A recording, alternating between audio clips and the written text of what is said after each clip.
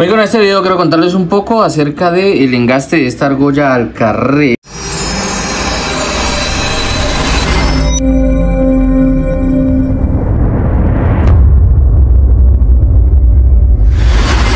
El engaste al carré, las piedras son talla baguette.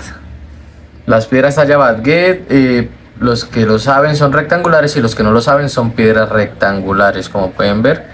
Este baguette de 3x2, circonia cúbica. Y esta es la argolla que tenemos que trabajar. Entonces, eh, acá eh, se llama al carré cuando va sostenida la piedra por dos biseles, uno a cada lado, lógicamente. Y que lo primero que yo hago, bueno, ya lo hice, quiero hacerle un zoom, un zoom para mostrarle. Hay que terminar de comer por dentro. Los, las barritas a veces pasan derecho en el diseño y no nos dejan el espacio donde descansa la piedra. Entonces el por dentro debe tener un espacio donde descansa la piedra a ambos lados. Listo. ¿Cómo lo hago? Eh, aquí le pongo una fresa de disco. Una fresa de disco que es el que come acá y deja solo el bisel.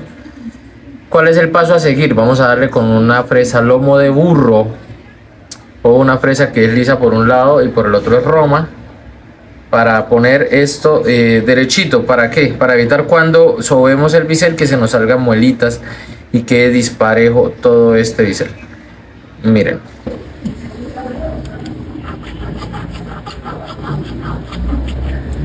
Como les hablaba eh, de esta fresa, es una fresa que tiene lomo, lomo romo.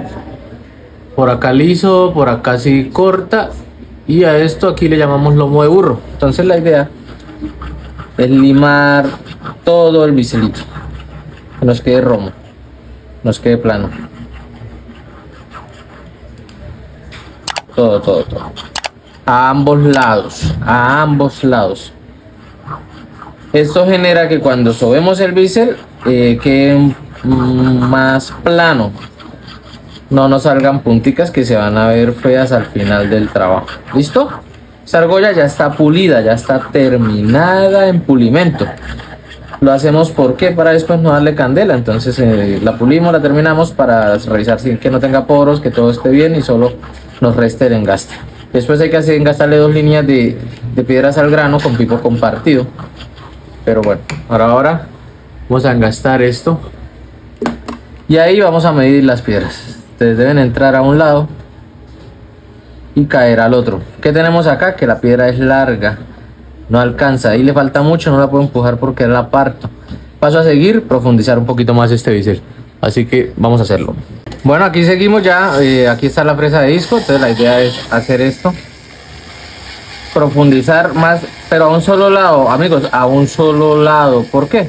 Porque el otro lado yo ya lo había limpiado y ya lo limé. Y la idea no es que genere mucho espacio. Cuando genera mucho espacio, eh, lo que va a pasar es que va a sobrar mucho y la piedra se va a mover, va a ser más difícil apretarla. Entonces por eso hacia un lado.